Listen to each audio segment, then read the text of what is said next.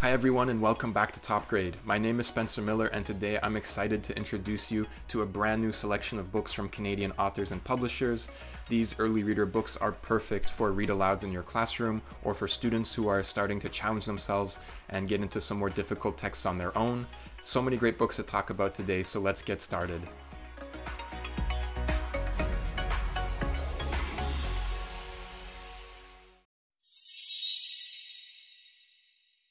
Where the Crooked Lighthouse Shines is a collection of narrative poetry written by Joshua Goudie with wondrous illustrations from Craig Goudie.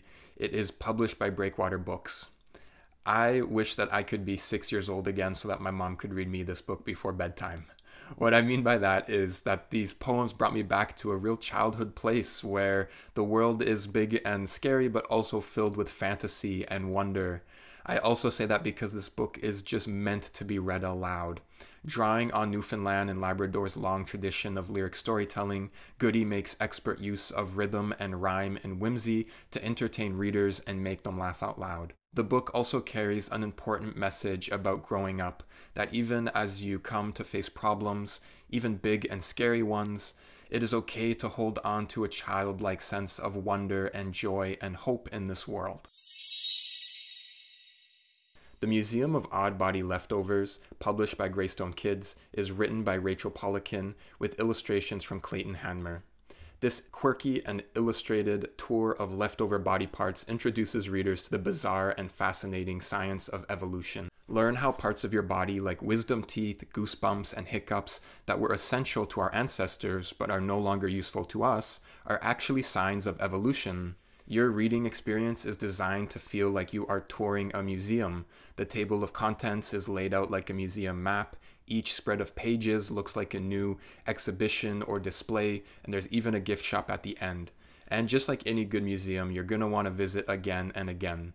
With strong curriculum connections, this is a perfect book for engaging kids in STEM. The Museum of Odd Body Leftovers makes learning about evolution relevant and exciting. With strong curriculum connections, this is a great way to introduce your students to new STEM topics. From Annick Press and Sid Sharp, The Wolf Suit is a funny and touching debut graphic novel about the pressures of fitting in and the courage it takes to make new friends. The story is about Bellwether Rigwelter, a lovable but lonely sheep who just wants to go out and pick blackberries without being eaten by wolves. Bellwether comes up with a plan to keep himself safe by blending in. He creates a wolf suit disguise that works perfectly, until it doesn't.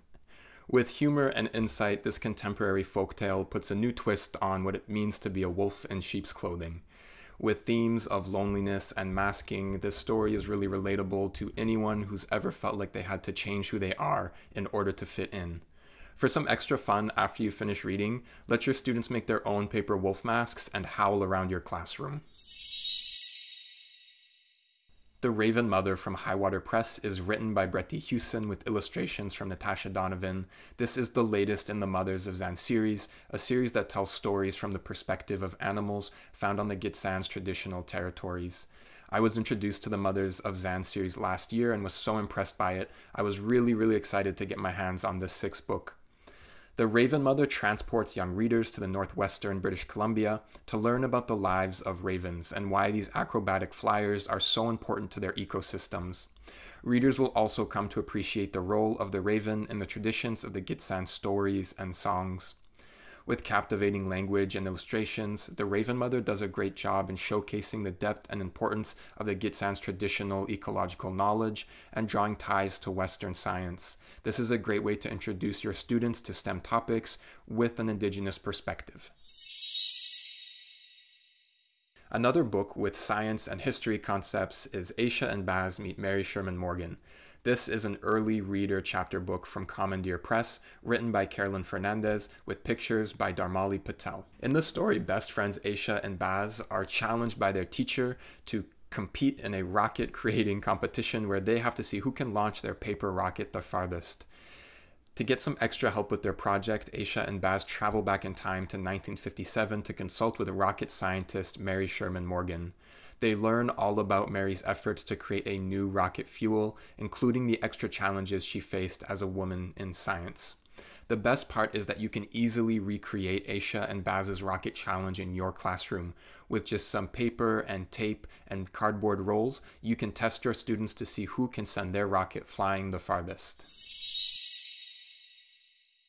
Our final book for today is The Unique Lou Fox, published by Pajama Press and written by Jodi Carmichael. This chapter book for new readers will introduce you to Lou Fox, a fifth grader, a gymnast, a playwright. She is full of flair and personality, and she also has dyslexia and ADHD. These are all things that make Lou unique. She is also dealing with the many challenges of being a kid, like strict teachers, friendship troubles, and the expected arrival of a new baby sibling. Lou finds confidence throughout the story as she learns to communicate and be more open with her parents, teachers, and friends and let them into her world. She soon realizes that those things that make her unique are worth embracing. The book includes dyslexia friendly design choices like using Helvetica and OpenDyslexic typefaces, left alignment, and no broken words, and the book is available in accessible EPUB edition. At the end of the book, author Jodi Carmichael, who has ADHD herself, also shares information and resources for readers to learn more about ADHD and dyslexia. I want to highlight the special relationship in this book between Lou and her teacher. At first, they don't get along and they don't understand each other, but by the end of the book, after some open conversations and some apologizing, the two get back on the same page and work together towards Lou's learning goals. This is a great example to you and your students, and I hope that it will open up similar conversations in your classroom. When you finish reading, spend some one on one time with your students and ask them about how they like to learn best. This will let them know that you are on their team and that you can work together towards their learning goal. Those are all the books that we have to talk about today. On behalf of the Association of Canadian Publishers, thank you so much for watching. And I also want to give a big thank you to Ontario Creates for their continued support of the Top Grade program.